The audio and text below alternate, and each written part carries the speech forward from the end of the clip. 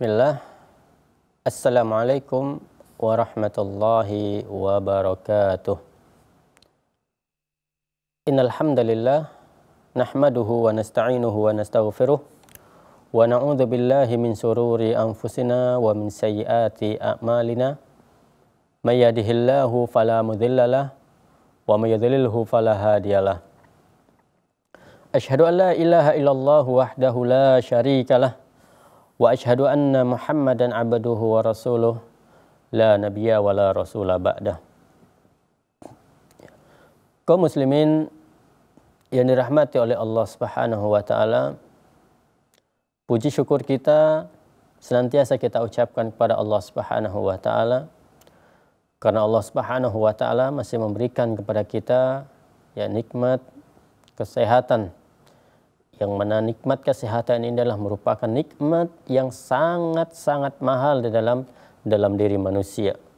Karena berapa banyak orang yang rela mengeluarkan uang ratusan juta hanya untuk dia ingin ingin sehat. Bahkan sampai dia melakukan perjalanan ke mana pun yang tujuannya adalah agar dia diberi diberi kesehatan. Maka dengan kesehatan ini kita harus bersyukur kepada Allah Subhanahu wa taala ya kita tidak perlu mengeluarkan biaya yang mahal untuk kesehatan ini kita maka dengan cara kita bersyukur kepada Allah adalah kita pergunakan nikmat sehat ini untuk ketaatan kepada Allah Subhanahu wa taala.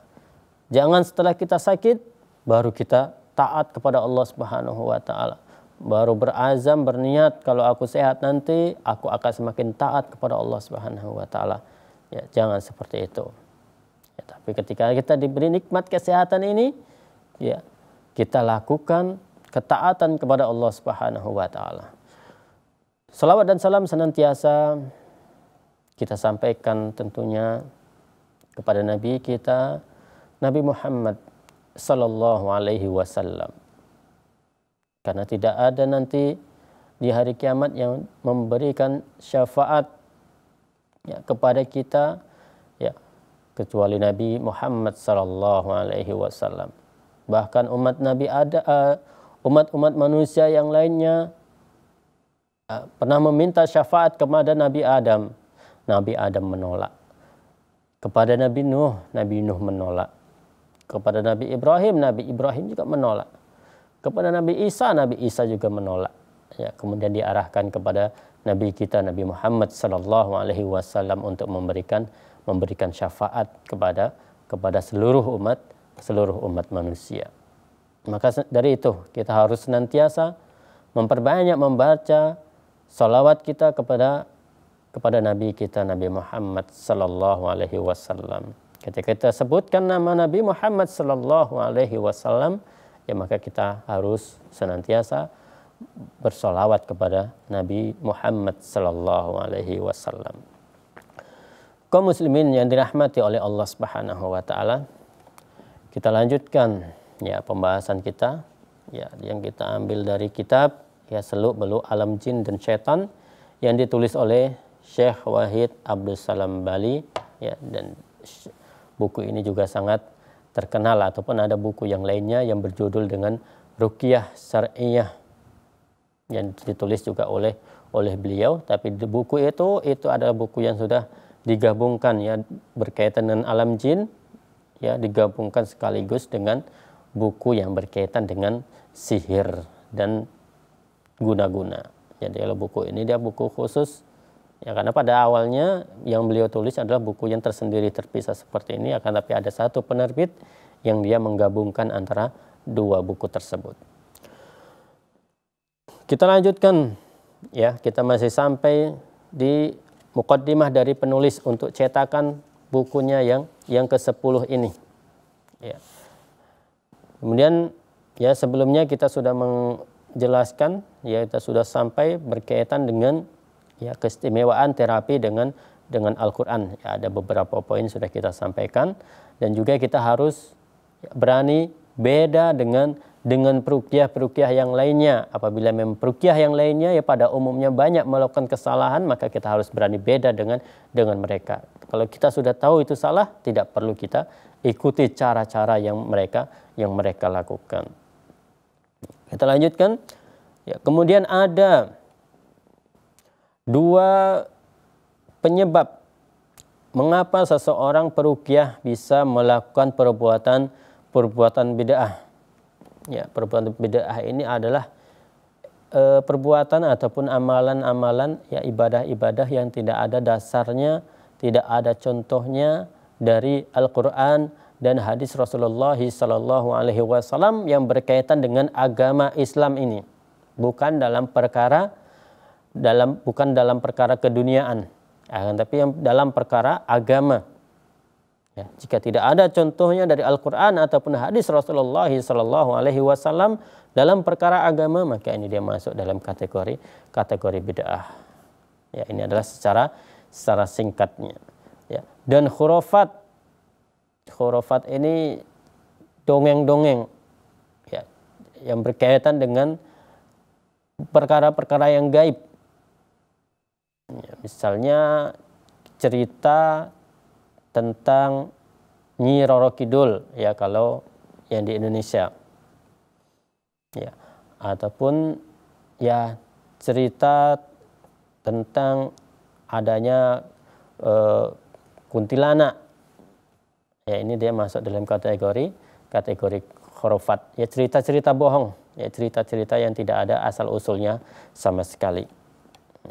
Jadi kenapa seseorang tersebut bisa terjatuh ya dalam perkara ini ya dalam perkara e, bid'ah ataupun ataupun khurafat ini ya yang pertama adalah kebodohan dari si perukiah tersebut terhadap terhadap masalah masalah agama ini ya nanti insya Allah ya akan kita berikan penjelasan yang berkaitan dengan hal ini tentunya setelah beberapa jeda berikut ini.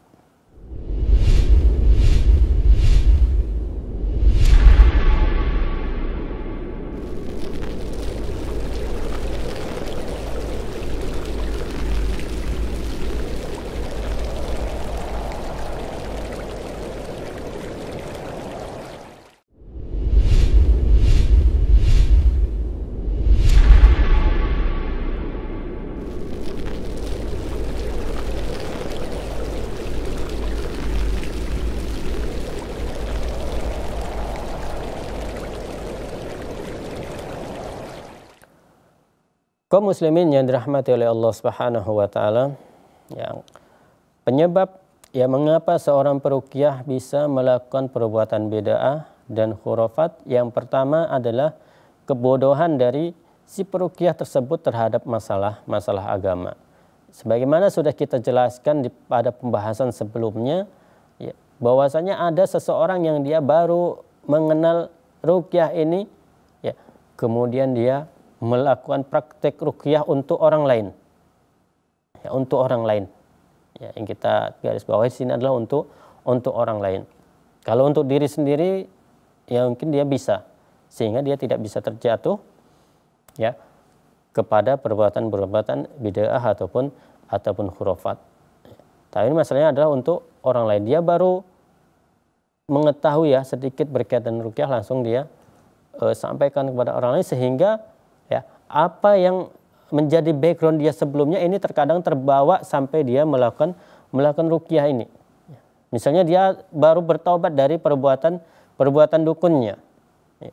Maka bisa saja ketika dia melakukan praktik rukyah, ya, ada yang kebiasaan-kebiasaan yang dia lakukan di dalam praktik perdukunannya ini masuk ke dalam praktik rukyah yang dia yang dia lakukan.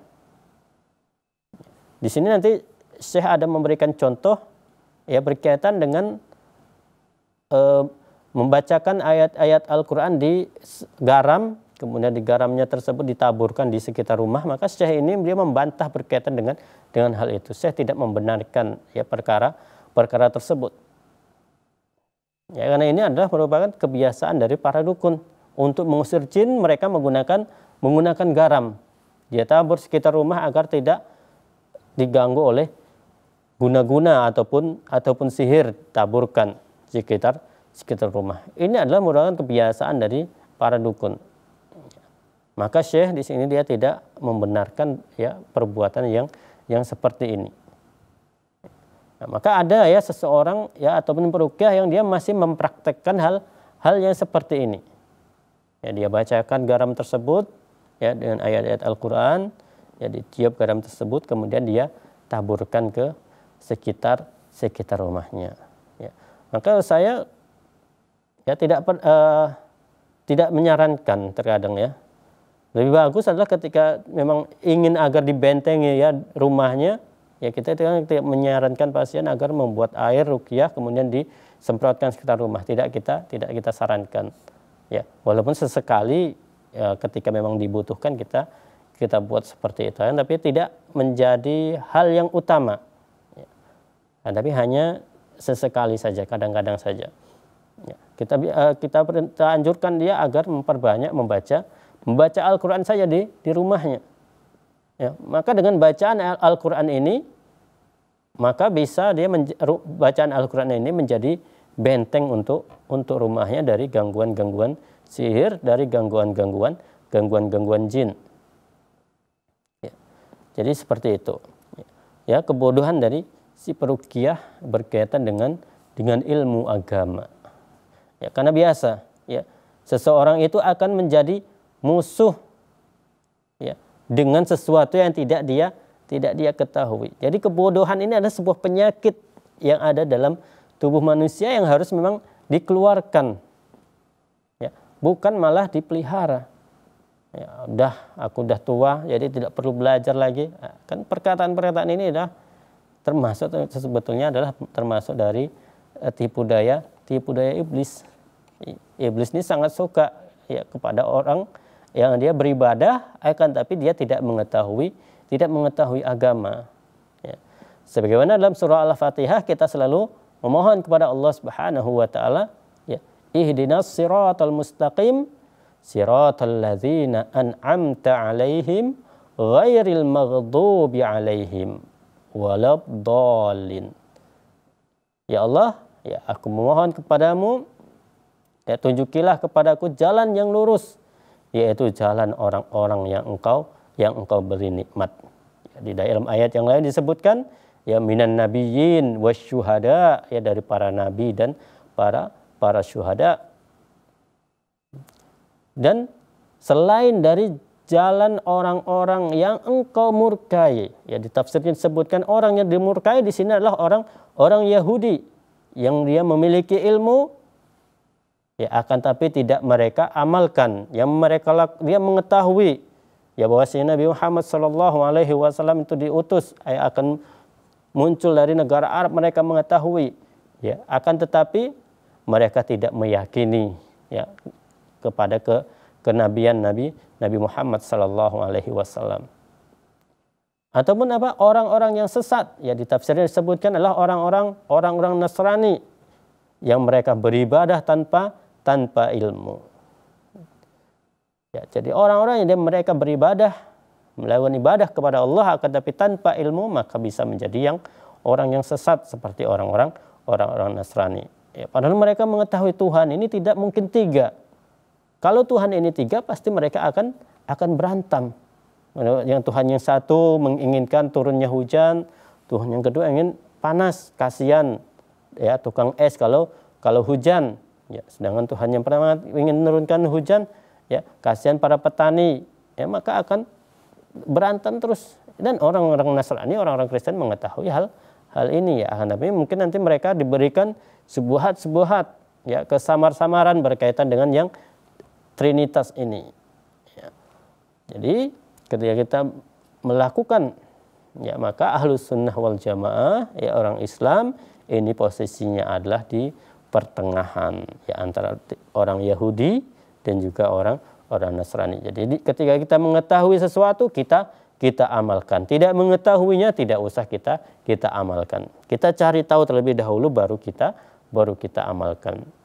Kalau dalam perkara dunia ya tidak mengetahui mungkin e, ruginya itu hanya di dunia saja. Kerugian berkaitan dengan dengan materi. Akan tapi kalau berkaitan dengan akhirat, berkaitan dengan agama, kita tidak mengetahuinya, yang akan kita dapatkan nantinya adalah kerugian nanti di di akhirat. Kita menganggap amalan yang kita lakukan itulah banyak, ya, ah, tapi di akhirat rupanya amalan-amalan yang banyak tersebut itu seperti haba mansura sebagaikan tebu, eh, debu yang debu yang berterbangan.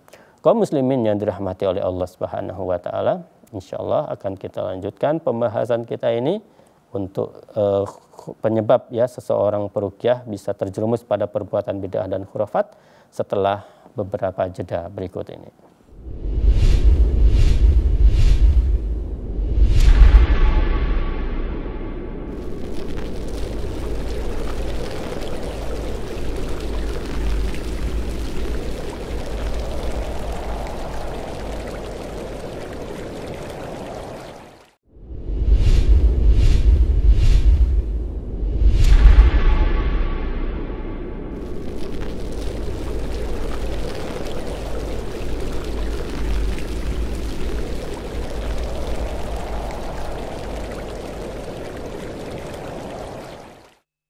Kaum muslimin yang dirahmati oleh Allah Subhanahu wa taala.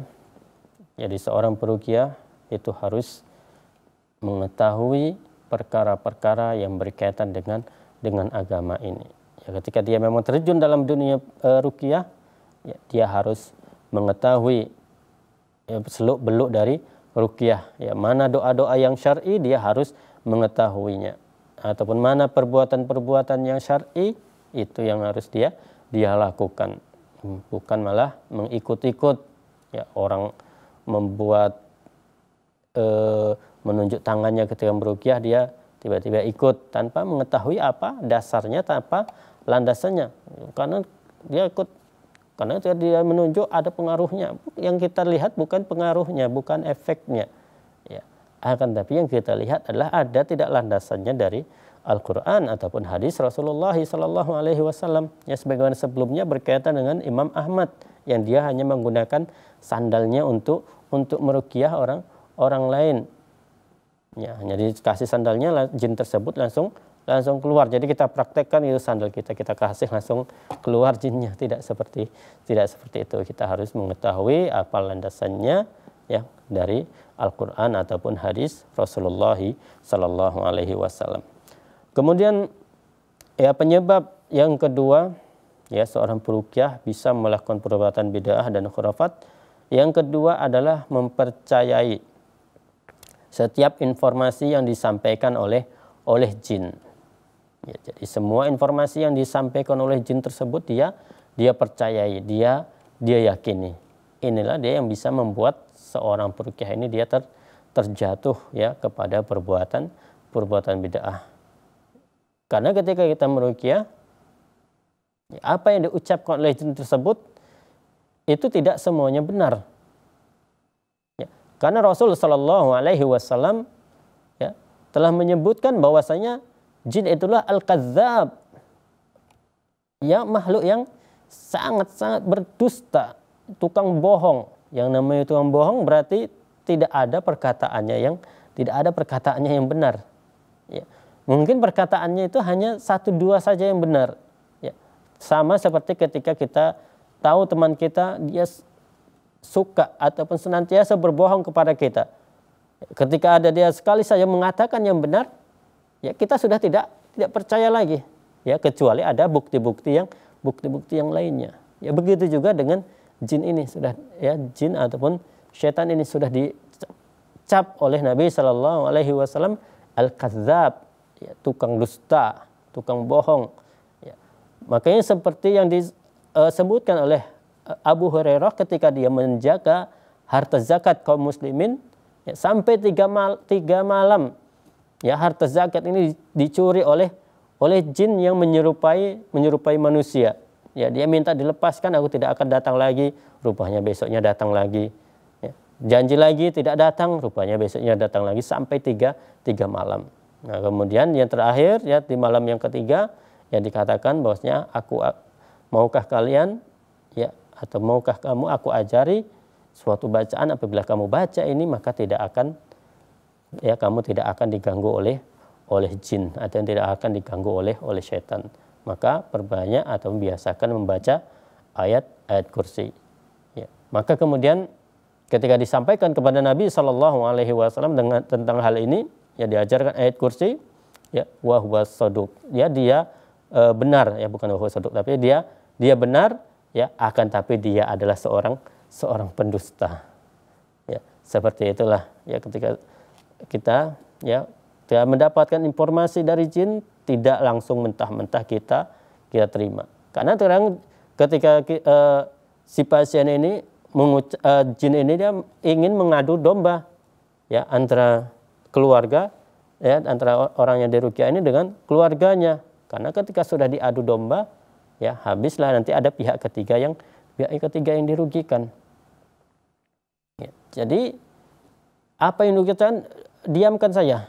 Ya maka saya ini dalam bukunya nanti akan ada uh, ralat dari beliau berkaitan dengan memperbanyak berbicara dengan dengan jin ya dengan orang yang kesurupan ya jadi saya ini dia tidak membenarkan seorang perukia ini banyak e, berbicara dengan dengan e, si pasien yang pasien yang dirukyah.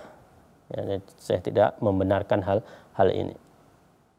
ya seperti itu ya kaum muslimin yang dirahmati oleh Allah Subhanahu wa taala. Jadi seorang perukia dia harus ya apa yang dikatakan oleh jin tersebut tidak usah di tidak usah kita benarkan. Karena kadang ketika dia misalnya uh, pasien tersebut adalah orang yang terkena sihir dia mengatakan aku disuruh oleh si fulan bin fulan. Ya aku disuruh oleh si A si A.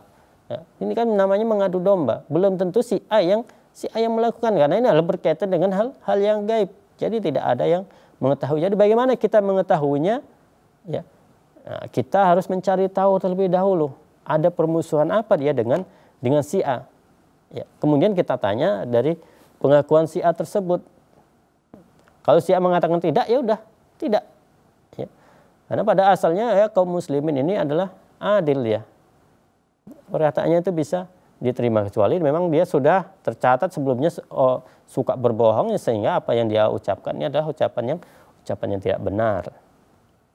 Maka bisa kita dustakan ucapannya ucapannya tersebut. Ya. Jadi seperti itu ya. Nah, jadi tidak semua ucapan ataupun yang dikatakan oleh jin tersebut kita kita percayai. Ya, maka karena bisa saja ya e, jin ini mengatakan satu perkataan yang benar ya akan tapi satu perkataan tersebut itu dicampur dengan 100 100 kedustaan. 100 kebohongan. Itulah yang dilakukan oleh oleh jin tersebut. Yang tujuannya adalah untuk menyesatkan manusia. Ya karena tujuan akhir jangka panjang jangka panjang dari setan ini ya adalah menyesatkan manusia agar masuk ke dalam ke dalam neraka. Inilah tujuan jangka panjang dari dari jin ataupun dari bukan dari jin ya tapi dari setan dan iblis tersebut. Ya tujuannya adalah menyesatkan manusia agar mereka ada teman untuk masuk ke dalam ke dalam neraka jahanam. Ya naudzubillah min zalik. Semoga Allah Subhanahu wa taala melindungi kita dari godaan, dari gangguan setan ataupun iblis. Semoga apa yang kita sampaikan dapat bermanfaat untuk kita semua. Kita tutup dengan doa kafaratul majlis. Subhanakallahumma bihamdika asyhadu an la ilaha illa anta astaghfiruka wa atubu ilaik. Wassalamualaikum warahmatullahi wabarakatuh.